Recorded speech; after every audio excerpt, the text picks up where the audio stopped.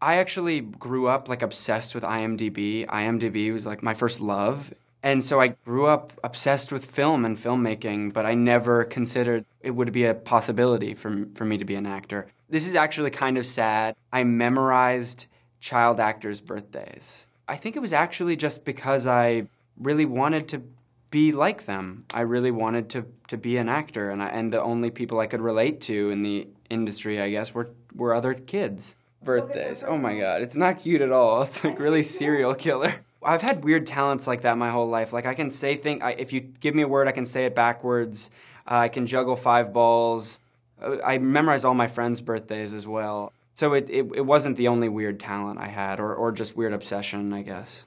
I'm gonna give you a few of my celebrity crushes. One is Faye Dunaway in uh, Bonnie and Clyde. Both Katharine Ross and Anne Bancroft in The Graduate. Bel Powley, I have a huge crush on. And also, the English accent is just amazing. I read once that like 90%, I, th- I could be pulling this percentage out of nowhere, but some percentage of why you fall in love with somebody or what draws you to someone is their voice. Something about her voice, I guess, caught me. I watched her uh, Gotham Awards like acceptance speech. Just found her to be tremendously charming and sweet. She was in a play that I really love, Arcadia, on Broadway, yeah. which I can't even imagine how she did that at, at such a young age. And she's like two years older than me. Ratatouille is one of my all time favorite movies and does just about everything to me. I would actually say one of my cinematic crushes is the cook that Linguini falls in love with. Yes. Is like, I kind of have a crush on her. Kind of think that I am kind of like Linguini. If they did a live action version of Ratatouille, I think I'd, I'd make a good Linguini.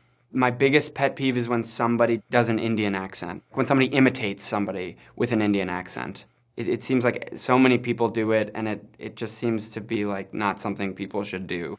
I was thinking about this one, and I don't know if I can say my favorite love scene. I can tell you, though, that I grew up watching The OC.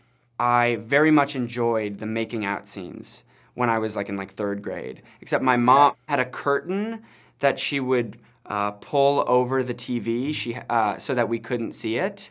The OC meant a lot to me, and, and there were some lovely sex scene, love scenes, I guess, in that.